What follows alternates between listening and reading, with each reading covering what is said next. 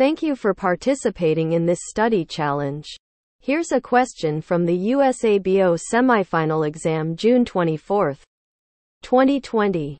Please drop a like, comment, share this out, and subscribe as we continue to do USABO together.